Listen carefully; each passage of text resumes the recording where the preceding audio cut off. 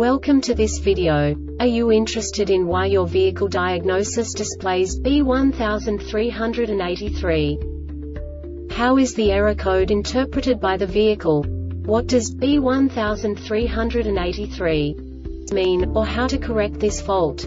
Today we will find answers to these questions together. Let's do this. First, let's look at the history of diagnostic fault code composition according to the OBD2 protocol, which is unified for all automakers since 2000. We divide the electric system of automobile into the four basic units. Powertrain, body, chassis, network. This distribution is defined in the first character code. If the second character is expressed as zero, it is a standardized error. In the case of numbers 1, 2, 3 it is a more prestigious expression of the car-specific error. The third character specifies a subset of errors. The distribution shown is valid only for the standardized DTC code. Only the last two characters define the specific fault of the group. Let's not forget that such a division is valid only if the other character code is expressed by the number 0.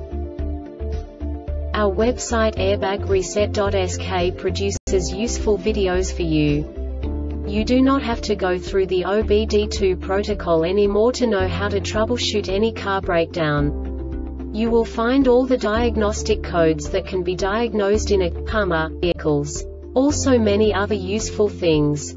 The following demonstration will help you look into the world of software for car control units. You unbelievably can move the video a bit further. The error code is split into two bytes consisting of 16 bits. One bit is the basic unit that each computer works with. The bit has two logical states. 0, low level, 1, high level. By combining the first two bits, the basic character of the error code is expressed. The next two beats again determine the second character. The last beat styles of the first byte define the third character of the code. The second byte is composed of a combination of 8 bits. The first 4 bits determine the fourth character of the code. And the combination of the last 4 bits defines the fifth character. A single byte conceals 256 possible combinations. We now know in what way the diagnostic tool translates the received information into a more comprehensible format. The number itself does not make sense to us if we cannot assign information about it to what it actually expresses.